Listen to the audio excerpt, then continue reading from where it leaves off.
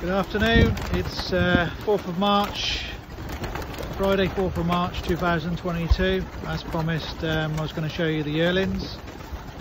Um, the youngsters have been out first time earlier, the older ones.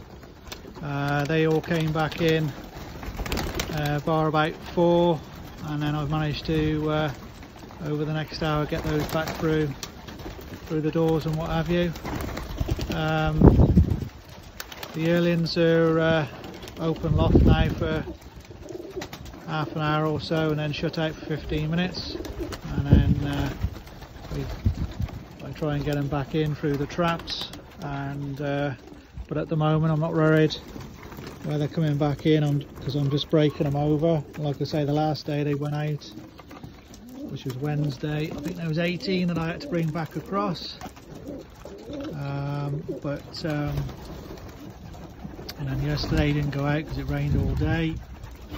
Uh, and then uh, it looks like we've got a dry head a week. So by the end of next week uh, the yearlings are uh, should be all broken over. And then they go out um, twice a day. Uh, like I say they're on the tooth uh, I've had no problems at all. Uh, touch wood with uh, any health problems with the yearlings. Um, like I say, I got some of the uh, white ones in here as brothers.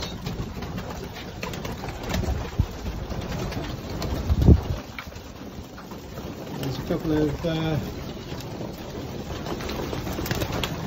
following me along, but uh, they haven't been fed today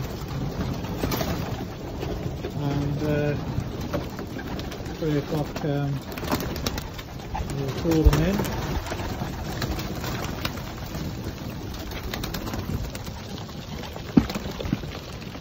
A couple of there orange marker rings on that uh, were brought out the auction.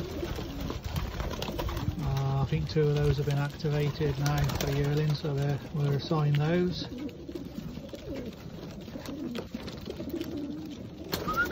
Come on.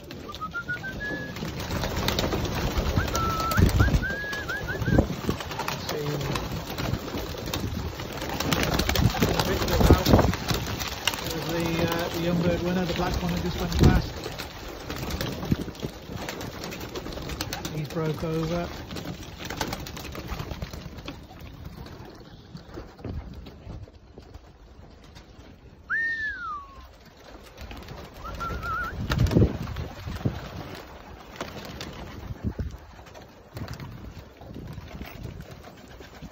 Uh, this, this loft gets plenty of sun through from sort of midday through the afternoon.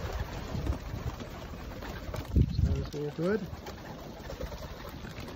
And I'll update again next week